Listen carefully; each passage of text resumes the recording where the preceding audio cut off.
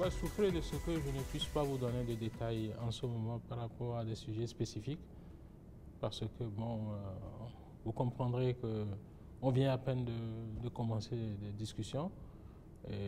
Vous connaissez le rôle que j'ai joué avant la campagne ici, avant l'élection du président euh, Patrice Talon, et avant et après son élection.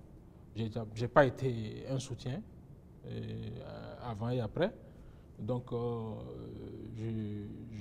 je, peux vous dire que j'ai été agréablement surpris par ce que j'ai vu aujourd'hui, l'accueil qui a été fait la disponibilité, l'investissement personnel du, président dans ce dossier que nous Autrement dit, des avancées positives euh, Je pense que oui, très positif.